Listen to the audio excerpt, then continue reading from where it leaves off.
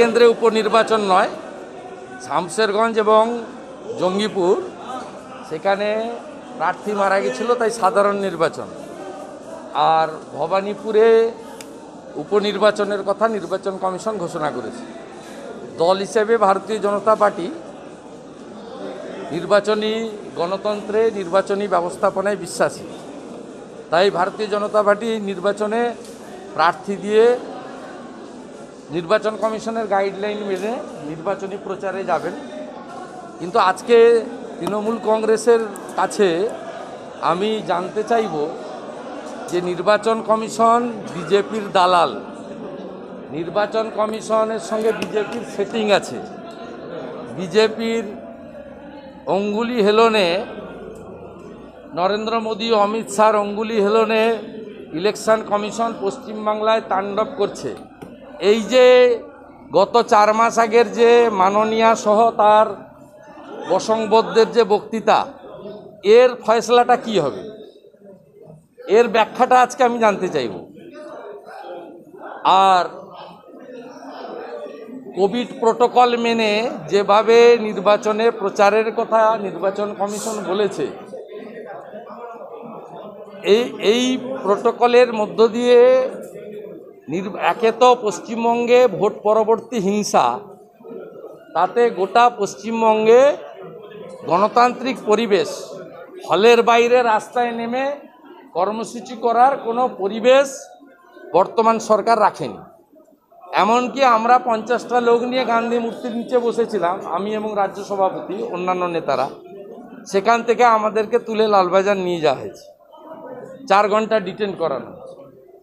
অতএব এই রকম একটা পরিবেশ, পরিস্থিতির মধ্যে এবং যেখানে ভ্যাকসিনেশন সম্পূর্ণ হয়নি, যেখানে করোনার গ্রাফ ঊর্ধ্বমুখী, যেখানে থার্ড ওয়েভ যে কোনো সময় আসতে পারে, যেখানে অত্যন্ত স্বল্প সময়ে প্রচারের সুযোগ, তাও প্রচারের ক্ষেত্রে মানে কি what to do what not to do যেভাবে রেস্ট্রিকশান করা হয়েছে, তাতে এইগুলো, এগুলোর মধ্য দিয়ে একটা সুস্থ মানে একটা স্বাভাবিক প্রচারের মধ্য দিয়ে নির্বাচন তার প্রতিবন্ধকতা আছে।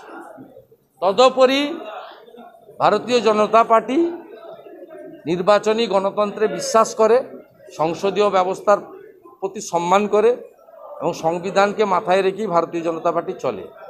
ভারতীয় জনতা পার্টি নির্বাচনে নিশ্চিতভাবে লড়াই করবে। এবং সামগ্রিকভাবে দলের রাজ্য সভাপতির নেতৃত্বে কেন্দ্রীয় কমিটির সঙ্গে কথা বলে আমরা আমাদের নির্বাচনের রণকৌশল এবং প্রক্রিয়া যা আছে সেটা আমরা ঠিক কারণ আজকের এই সিদ্ধান্তের মধ্য দিয়ে প্রমাণ হয়েছে যে নির্বাচন কমিশন বিজেপির কথায় চলে না বা বিজেপির সঙ্গে সেটিং নেই। আমরা কোনোদিন বলিনি যে ইলেকশন কমিশনের সঙ্গে তৃণমূলের সেটিং আছে। তৃণমূল কংগ্রেস এবং তার নেত্রী সব সভাতে বলে বেরিয়েছেন ইলেকশন কমিশনের বিরুদ্ধে। তাই ইলেকশন কমিশন ক্লারিফাই করুক যে তারা কেন শুধুমাত্র একত্রিশটা বাই ইলেকশন ছিল গোটা অল ওভার ইন্ডিয়াতে শুধুমাত্র একটাতে কেন বাই ইলেকশন তারা করছে? আর জঙ্গিপুর শামশেরগঞ্জ বাই ইলেকশন নয়, এটা জেনারেল ইলেকশন তাই কেন একটাতে করছে? এর একমাত্র উত্তর দিতে পারবে ইলেকশন কমিশন। শুভেন্দু অধিকারী, বিরোধী দলনেতা উত্তর দিতে পারবে না। মানে আমার লিমিটেশন আছে। সেকেন্ড থিং হচ্ছে যে ভবানীপুরে বাই ইলেকশন না হলে পশ্চিমবঙ্গে সাংবিধানিক জটিলতা হবে। রাজ্যের মুখ্য সচিব হরিকৃষ্ণ দ্বিবেদী লিখেছেন, এই লেখাটাকে আমরা ইস্যু করব। কারণ তিনি একটা মুখ্য সচিব হয়ে এটা লিখতে পারেন না। কারণ পশ্চিমবঙ্গে সাতটা জায়গায় এমএলএ নেই। দুশো চুরানব্বইয়ের মধ্যে। এখানে সাংবিধানিক কী জটিলতা আসবে? এখানে তৃণমূল কংগ্রেস একশো আটচল্লিশের নিচে নেই। দুশোর উপরে আছে। তারা একটা অল্টারনেট লোককে করতে পারতো। সেটা না করে আজকে মুখ্য সচিবকে দিয়ে লিখিয়েছে।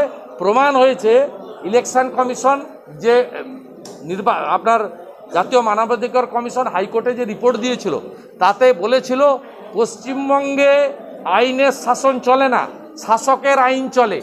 মুখ্য সচিবের এই চিঠি, তার মূলে ইলেকশন কমিশনের স্পেশাল কেস হিসেবে এই উপর বাই ইলেকশন করানো। প্রমাণ হয়েছে যে এখানে শাসকের আইন চলে এখানে জনগণের আইন চলে না।